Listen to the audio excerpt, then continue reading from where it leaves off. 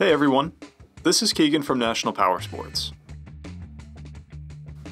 This 2023 Kawasaki Ninja 636 with 2,485 miles passes New Hampshire State inspection and runs well. It comes equipped with traction control and ABS. It's been upgraded with frame sliders and a tank pad. Agile handling and thrilling performance punctuate the Ninja 636, standing out in a saturated sport bike class. Powered by a 636cc four-cylinder engine, the Ninja puts 127 horsepower and 52 foot-pounds of torque through a 6-speed transmission. It has a 32.7 inch seat height and a wet weight of 430 pounds. To see everything we know about this vehicle, including full mechanical and cosmetic condition reports, the service repair order, high resolution photos, and more, please visit the listing on our website. We have also purchased the CycleCheck's Vehicle History Report.